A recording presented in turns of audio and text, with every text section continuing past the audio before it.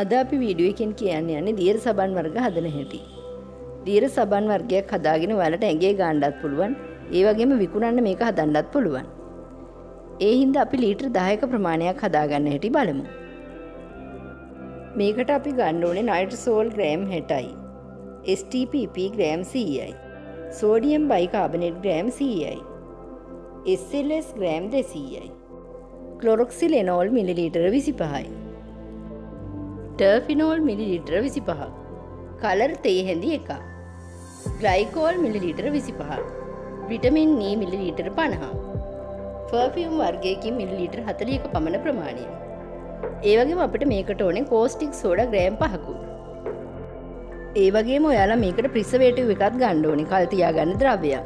ඉතින් පෝමලින් ග්‍රෑම් තිහක් වගේ ගත්තාම ඇති. නැත්තක් ඔයාලට මේකට යොදාගන්න පුළුවන් සෝඩියම් බෙන්සෝයින් ග්‍රෑම් තිහා ඔයාලට පුළුවන් කල්තියා ගන්න මේ දෙකින් එකක් යොදාගන්න. දෙන්න අපි බලමු මේ ලීටර් දහය හදාගන්නේ කොහොමද කියලා. මුලින්ම ඔයාල වතුර ලීටර් දහයක් කරම් පැත්තකින් තියාගන්න ඕනේ. ඊට පස්සේ භාජනකට වතුර ලීටර් පහක් දාලා ඒකට නයිට් සෝල් ටික දාලා හොඳට දිය කරගන්න ඕනේ. මේ නයිට් සෝල් ටිකෙන් ටික තමයි දාන්න ඕනේ. මේ නයිට් සෝල් දාගන්නේ අපි මේකේ උකු ගතිය හදාගන්න. ඉතින් ටික ටික දාලා දිය කළාට පස්සේ හොඳ උකු ගතියක් එනවා. ඒ වගේම මං ඔයාලට හැමදාම කියන වගේ මේ කෙමිකල් වලින් වැඩ කරනකොට ඔයාලා පරිස්සමෙන් කරන්න ඕනේ. මාස් දෙකක් දාගෙන ඒ වගේ මද්දකට ග්ලව්ස් දෙකක් දාගෙන මේ දේවල් කරන්න ඕනේ. පොඩි අයගෙන් ඈත් වෙලා මේ දේවල් කරන වෙලාවට හරි පරිස්සමෙන් කරගන්න ඕනේ. ඒ වගේම කෙමිකල් වර්ග ගෙදර ගෙනාවට පස්සෙත් පරිස්සම් කරලා තියන්න ඕනේ. මේවා විස සහිත හින්දා ඔයාලා පරිස්සමෙන් පරිහරණය කළොත් කිසිම ප්‍රශ්නයක් නැතුව මේ නිෂ්පාදන වලට කරගන්න පුළුවන්.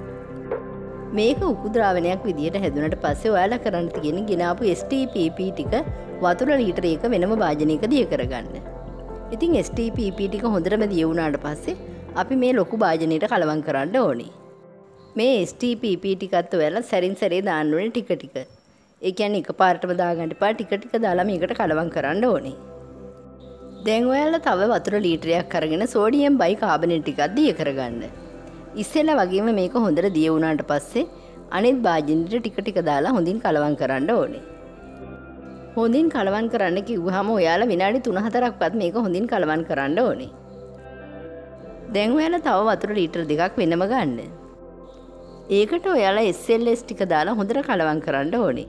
මේක ටිකක් වෙලා කලවම් කරනකොට හොඳටම පෙන උඩට එනවා. මේ පෙනෙන්න තමයි අපි මේකට SLS යොදාගන්නේ. ඉතින් දැන් හොඳටම පේනාවට පස්සේ ඔයාලට තියෙන අනිත් භාජනෙට දාලා හොඳට මේක කලවම් කරගන්න. දැන් ඔයාලා වතුර ලීටර් භාගයක් අරගෙන ඒකට කෝස්ටික් සෝඩා ටික කලවම් කරලා මේ මිශ්‍රණයට දාගන්න ඕනේ.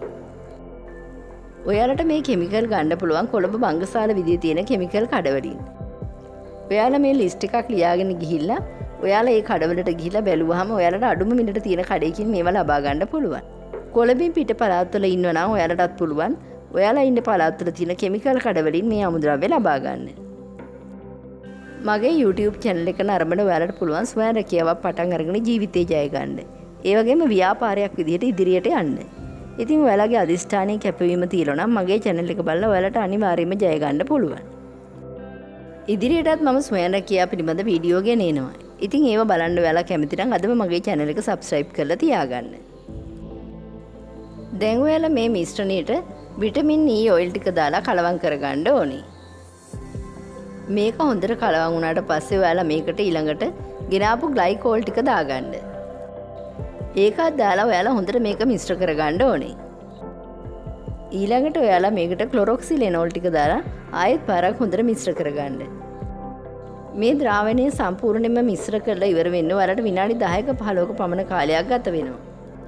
විනාඩි 10ක් 15ක් පමණ මේක මිශ්‍ර කළොත් තමයි ගොඩාක්ම මිශ්‍ර වෙන්නේ.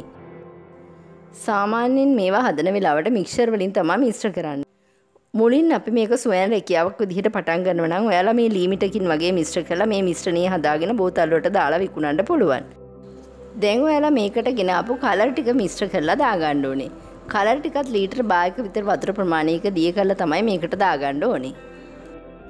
මේ මිශ්‍රණය හොඳටම දිය වුණාට පස්සේ ඔයාලා මේකට ගෙනාපු පර්ෆියුම් ටිකක් දාගන්න. මේක හොඳට කලවම් වුණාට පස්සේ ඔයාලා ප්‍රිසර්වේටිව් ටිකක් දාගන්න.